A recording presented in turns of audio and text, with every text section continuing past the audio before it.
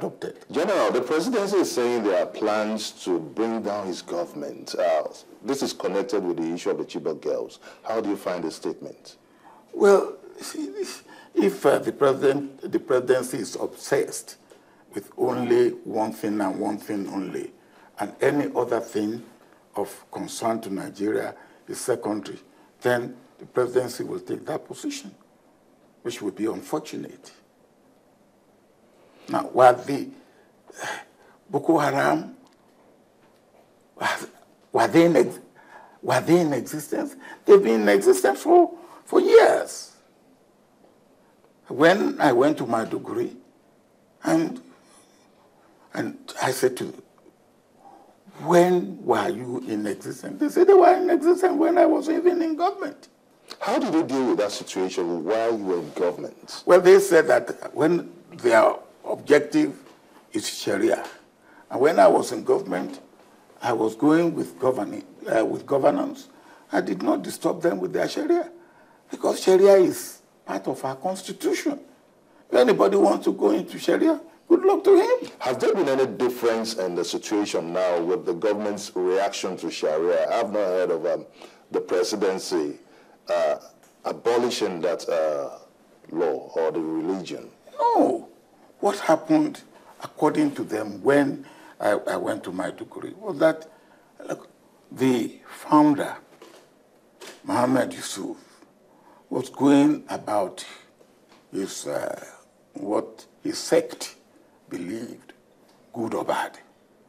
Um, and then his father-in-law, Fugu, was declared wanted by the police. He went to report himself to the police with his lawyer. The police arrested him and killed him in cold blood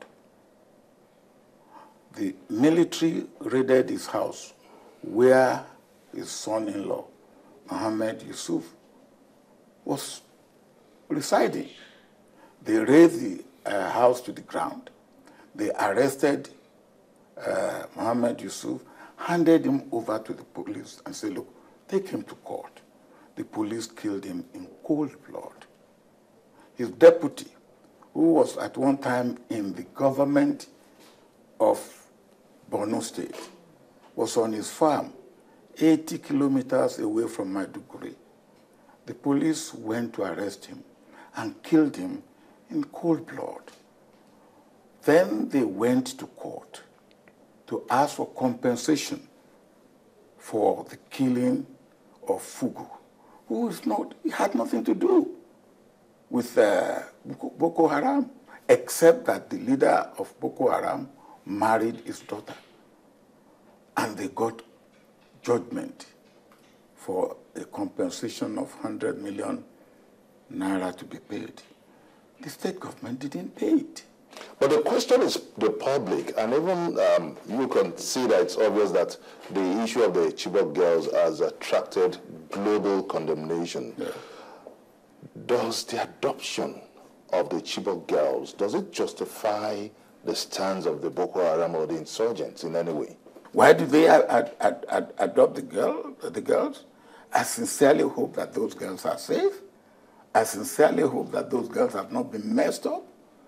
I sincerely hope that those girls will not be, uh, we will still not be talking about them 10 years from now, that they can be rescued. General, how would you assess uh, federal government's rescue mission and its operation so far in bringing back the missing Chibok girls?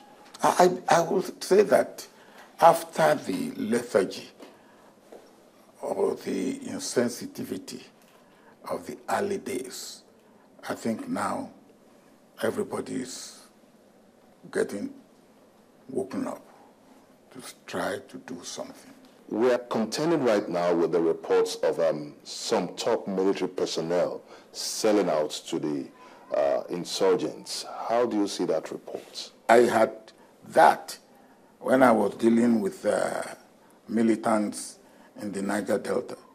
When I called about 20, uh, 40 of them, I said, hey, come and talk to me.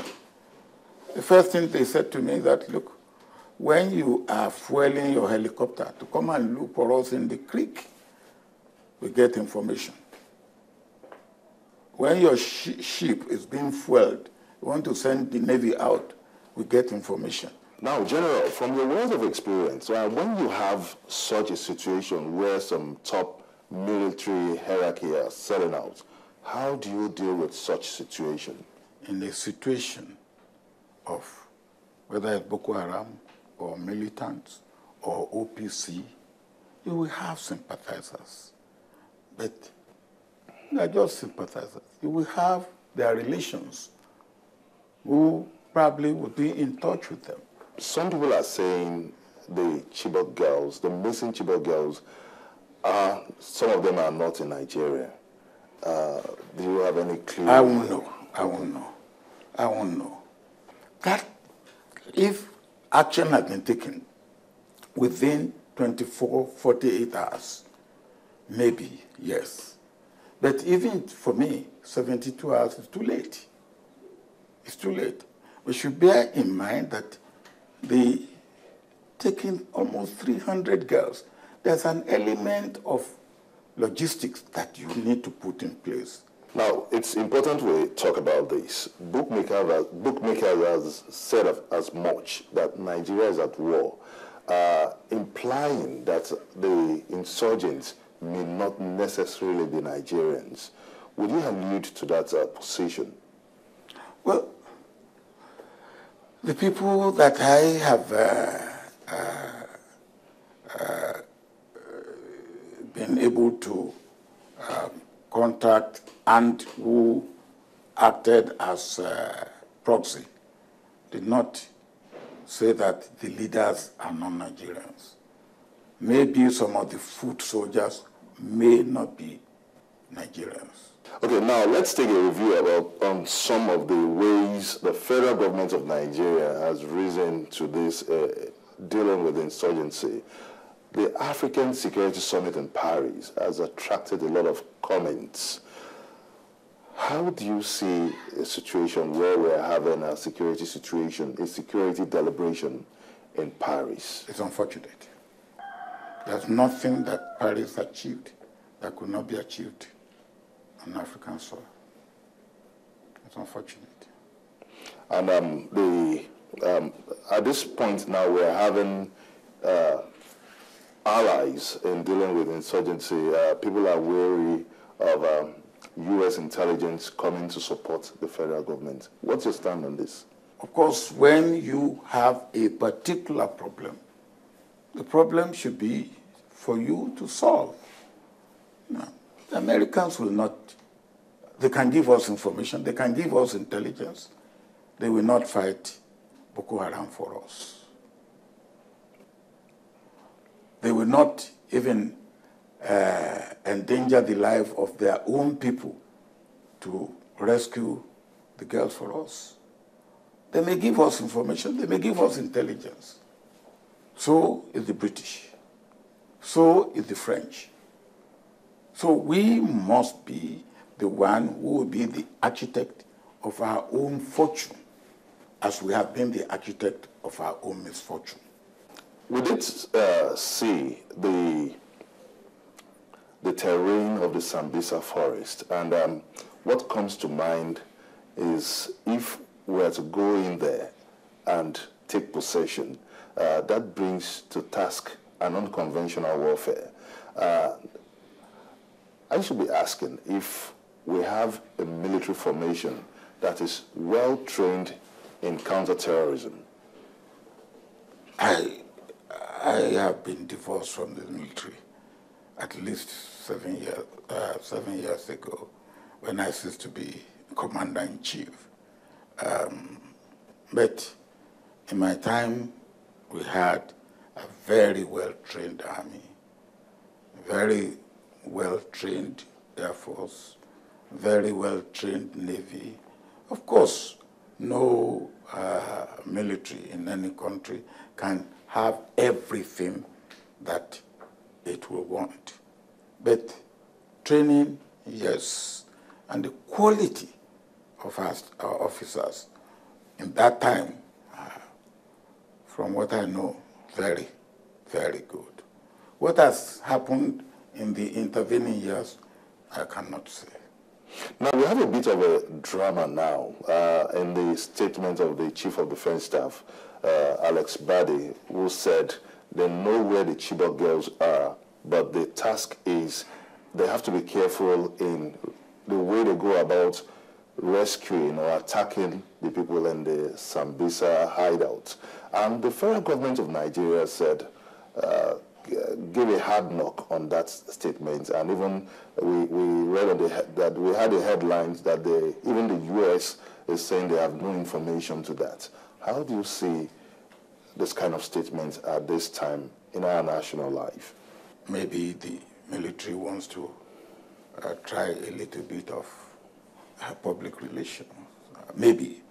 Um, but this, again, this is not an issue that you will uh, play public relation uh, propaganda with.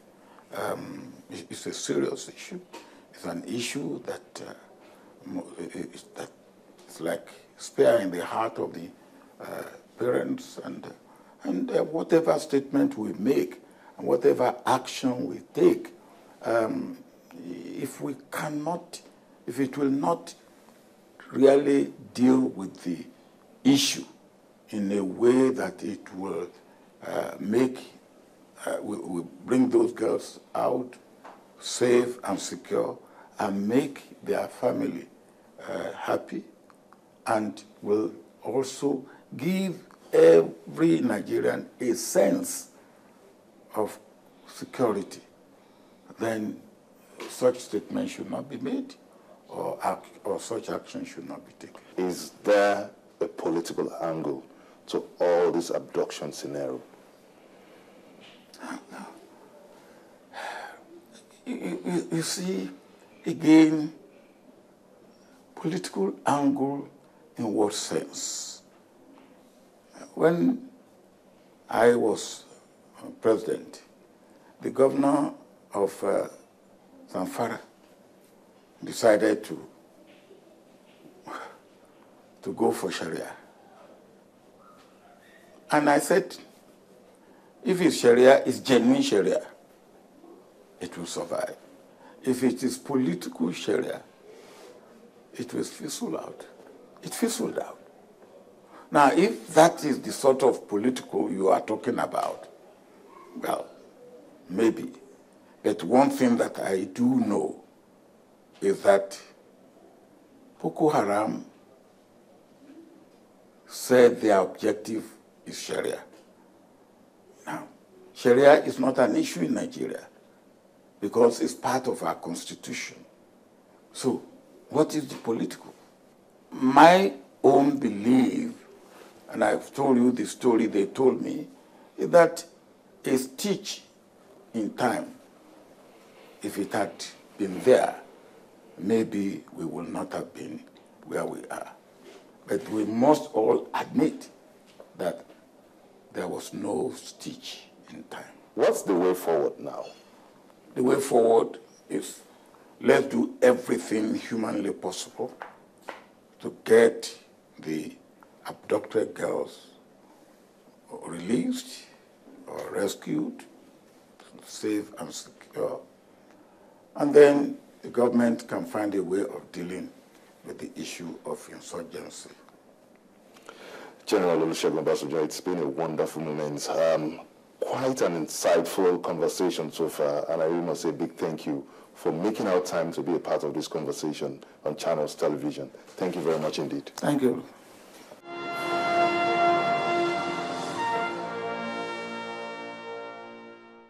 Well, I guess we would have to keep our fingers crossed as we all count, hopefully, to when the abducted girls would eventually be released.